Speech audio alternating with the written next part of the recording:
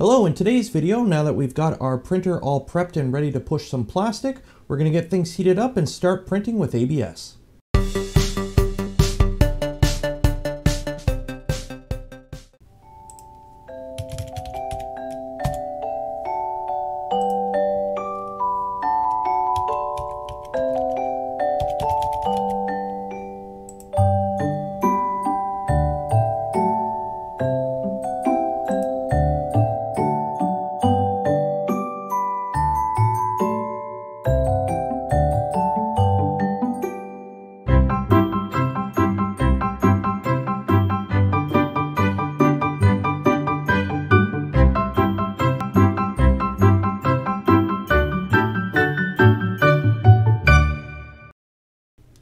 So now that you've seen what not to do, let's go through some tips and tricks to make sure your printer is printing ABS plastic successfully into the best of its ability. Now the first thing I'm going to touch back on again is make sure you start off with some good filament. There is plenty of cheap ABS plastic out there. It stinks, it has poor layer adhesion, and it warps like crazy. So make sure that you start with some good filament. Now, depending on where you are in the world, sourcing is going to be different, of course. Talk with local printer groups, get advice from others in your area, but make sure you start with a good brand. KVP, Prusament, Hatchbox, Paramount, eSun, they're all good brands. Just make sure you start with some high quality filament. Now the filament that we're going to be using today is eSun ABS Plus. It's a very beginner friendly ABS. It is a blend, it's not a pure ABS, but it is close enough to pure ABS that in most use cases, it isn't going to make much of a difference. It is very resistant to warping and prints very well even in a basic enclosure or even open air with the right settings.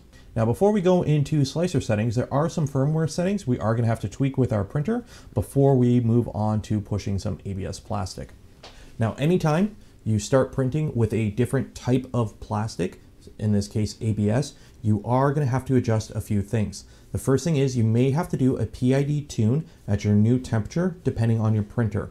If you are planning on printing a lot of ABS plastic, for example, I recommend you redo your PID tune at around 240 degrees Celsius with a 100 degree bed. Now, of course, you are also going to have to make sure your extruder as well is also calibrated correctly for E-steps because that plays into effect when it comes to flow calculations and feed rate. And with ABS, you need to make sure those are as accurate as you can make it. And also, any printer firmware specific settings you may want to tune first, such as pressure advance, linear advance, or even input shaper with Klipper. You are going to want to go ahead and tune those settings before you start printing to ensure the best quality of your prints. Now there are guides out there for going through and tuning each one of those, so I'll leave you to your own devices to do that. I won't be going over that in this video right now. Now the first few things you are going to be changing when printing ABS versus PLA for example, and the profile I'm using to begin with is a PLA profile, is temperatures. Now when it comes to temperatures, I do recommend doing a temperature tower before printing, and this is ensuring that your filament is being printed at the correct temperature. So after doing that, you can adjust your temperatures accordingly. Now one trick I like to do is print the first layer a little bit warmer than subsequent layers. This helps a lot with bed adhesion. And you can do the same thing with your bed. Now I find most ABSs like a bed temperature of anywhere from 95 to 110 degrees Celsius. You'll have to adjust based on how the plastic is sticking to your bed and your bed material accordingly.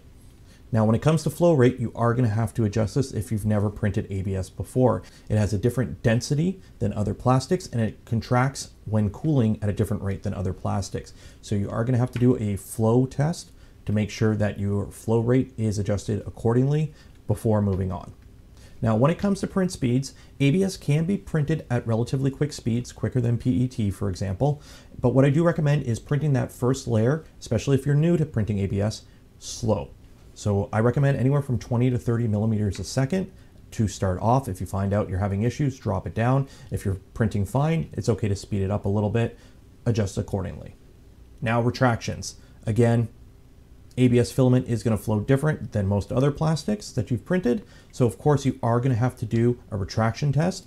Using your base PLA, for example, retraction settings are a good starting point usually, but you may have to adjust either lengthening it or shortening it to get the best results. This is again something you'll have to do. Now cooling. This is one of the biggest difference with ABS versus PLA, for example, and ABS requires minimal to no cooling to print successfully. In fact, if you have your cooling too high, you're going to have warping. So what I recommend, especially for those that have never printed ABS before, is turn your cooling off. This will ensure you have the least amount of moving air and you have the most successful chance of an unwarped print. Now, it is possible to run cooling fans with ABS. For example, on my enclosed Voron V2s, I do run a part fan anywhere from 10 to 20%. However, they are fully enclosed with ambient air temperatures near the bed for most things I print around 50 degrees Celsius. Now, a very minimal fan fully enclosed with high ambient temps can help a lot with overhangs and bridges, especially for print quality on finer details with ABS. However, if you've never printed ABS before, you're unsure how your printer is going to behave when printing it, especially with the filament you're using, I recommend starting with no part fan enabled. Now, when it comes to bed adhesion, this is really going to depend on your bed surface, your printer setup, and if it's enclosed or not. Fully enclosed with relatively high ambient temperatures, for example, I don't run any additional bed adhesion. I just print the parts as is. However, if you're unsure on how it's going to print in your printer, or if you're having issues with parts warping, you can always turn the brim on. Now, there's no shame in using a brim, especially with ABS. This can help a lot with parts sticking down. Now, it's better to have a little bit of brim to clean up after your print's done versus prints failing six, seven hours in because parts started popping off the bed and the whole plate is ruined. So if you're unsure, start with using a brim and adjust accordingly from there if you really need it long term or not. And lastly, for major settings that can help with printing ABS in your slicer is a draft shield and this can be used to keep the heat in and prevent drafts as you're printing. Now, draft shields are really only beneficial when you're printing open air. So if you're unable to enclose your printer for whatever reason, you can print with the draft shield. And this does lead to more successful prints when printing ABS unenclosed. Now, you're not going to get the same level of layer adhesion with higher ambient temps, as a fully enclosed printer, but for smaller parts, especially if you don't have time to enclose your printer or you're unable to enclose your printer, this can help give you successful ABS prints, at least to get you going. So I did go through and do some various test prints. Now the test print that I used is the Mobius 3 base. That is a very good test print in my opinion for checking to see how your printer handles printing ABS. It's a relatively long print, it's about two hours on most printers. It has areas prone to warping, on the little flanges where it attaches to your printer, for example. It is tall and has overhang, so you can get a good idea of how well your printer is handling ABS by printing this test piece at the recommended settings.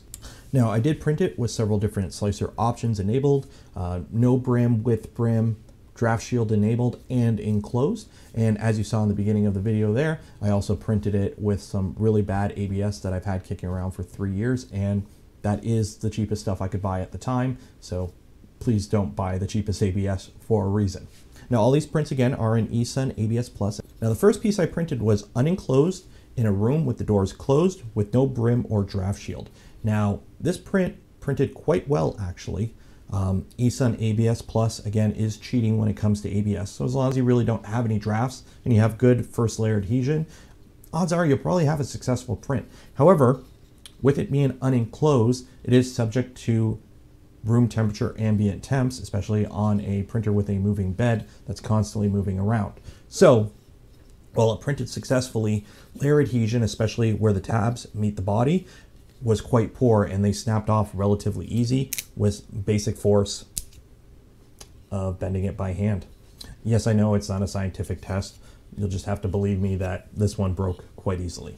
Now the next one I printed was the same model, same slicer settings, only I've added a brim and a draft shield. Now with the brim and draft shield, it successfully held to the bed and the draft shield allowed it to have slightly better layer adhesion because it kept more heat next to the print itself. Now it still broke easier than the fully enclosed print, however it didn't break as easy as the unenclosed one. And lastly, I put the cardboard box enclosure on the printer and printed one with just a brim. Now this one had the strongest layer adhesion and giving it the same amount of force that broke the other two, it's still holding together. It also printed the cleanest in my opinion in terms of appearance. And it also printed the cleanest in my opinion in terms of appearance. Now, when it comes to a brim, removing a brim is relatively easy.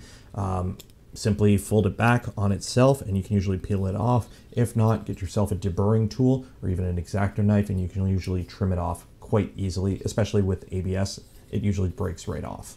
Now, if you go back to looking at these prints, you can see that they were printed quite close to the bed. You can even see some of the telltale white stress marks of ABS when it was popped off the bed. Now, these come off really easily if you just hit it with a heat gun for a few seconds. They're just stress marks. But as you can see, this print was printed relatively smushed into the bed. Now, with ABS, it does like a little bit of smush, unlike PET, for example, where you kind of have to lay it onto the bed.